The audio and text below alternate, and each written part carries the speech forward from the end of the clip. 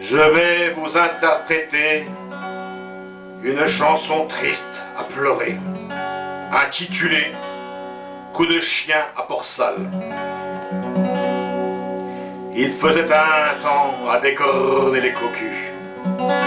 L'océan enragé à faire pâlir plus d'un marin éclatait son écume blanche sur les toits moussus. Des pentis calfeutrés qui se tendaient la main.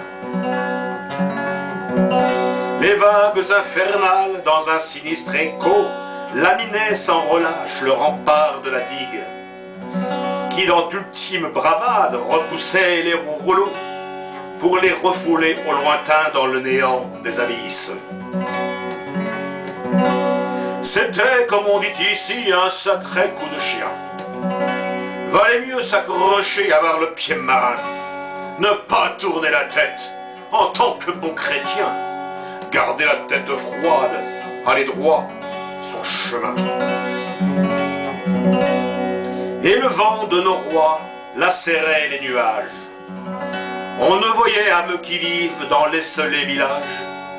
Seul le hurlement à la mort du chien errant perdu déchirait cette nuit de plomb aux quatre coins de la rue. Et les toits affaissés des pentis de Port-Salle résistaient volontaires à la fureur de l'océan.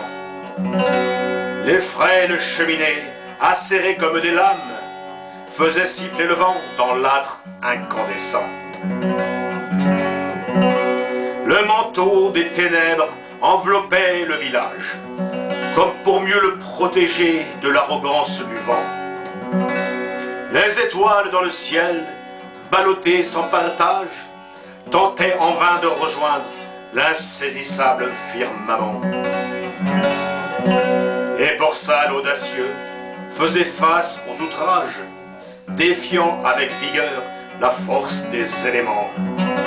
Dans un dédain super des réputés adages, il s'endormait paisible sous le cri du goéland.